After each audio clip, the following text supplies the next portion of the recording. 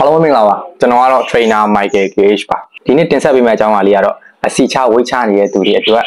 စီမပါအချုံမုံမပါပဲနဲ့အရသာရှိရှိကောင်းကောင်းလေးနဲ့ကတွင်တွေးစီမဲ့အစီချဝိတ်ချညာစာခောက်ဆွဲပြုတ်လုံကြီးလေးကိုတင်ဆက်ပေးမှာဖြစ်ပါတယ်အားလုံးပဲ မိုက်ကနဲ့တူအဆုံးထိလိုက်ပါချီပေးကြပါအောင် let's go စားကြနောက်အနေငယ်အချိန်အတွင်းမှာ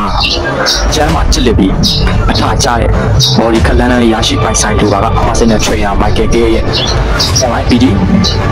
ချင်း PD တင်တဲ့များကိုအတူ join ဖို့ဖိတ်ခေါ်လိုက်ပါတယ်ပထမဦးစွာရေနွေးလေးကိုစူအောင်တည်ထားပါမယ်ရေနွေးလေးတွေစူလာပြီဆိုရင်တော့ကျွန်တော်တို့ lucky ခောက်ဆွဲလေးတွေထည့်ပါမယ်ဒီမှာထည့်ပြထားတဲ့ပုံစံကတော့တမီတောက်ဆုံးစားမှာဆိုတော့နည်းလေးများများလေးထည့်ထားပြီးရဗျဝေချရတဲ့သူတွေအတွက်ဘယ်လောက်ပမာဏထည့်ရမလဲဆိုတာထပ်မံရှင်းပြပေးပါဦးမယ် okay ခောက်ဆွဲလေးတွေနူး EV ချက်လာပြီဆိုရင်တော့ကျွန်တော်တို့ရေလေးတွေနည်းနည်းစစ်ထားပေးပါမယ်ရေလေးထဲမှာခုလိုမျိုးလေးတွေရေလေးတွေစစ်ထားပေးပါအောင်ဗျ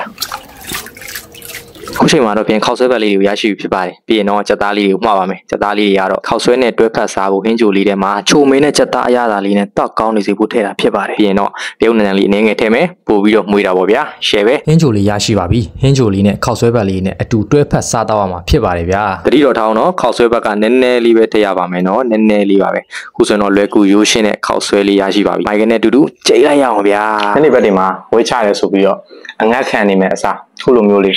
ကယ်လိုရီတွေနည်းအောင်ခောက်ဆွဲဘက်လေးတွေတော့နည်းနည်းရှော့နော်ကာဗွန်ဟိုက်ဒရိတ်ဖြစ်တဲ့ခောက်ဆွဲတွေရှော့မယ်ပရိုတင်းဖြစ်တဲ့အသားဓာတ်တွေကိုနည်းနည်းလေးတိုးမယ်အရည်ကိုတော့များများထည့်မယ်အရည်များများနဲ့တောက်သုံးပေးကြဖို့အကြံပြုပါတယ်မျိုးအရသာရှိပြီးတော့ကျမ်းမာရေးနဲ့ညီညွတ်တဲ့